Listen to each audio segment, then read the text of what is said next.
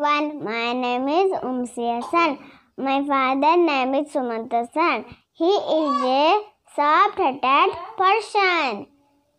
My father is my hero and best person in my life. My father is my best friend. He loves me very much.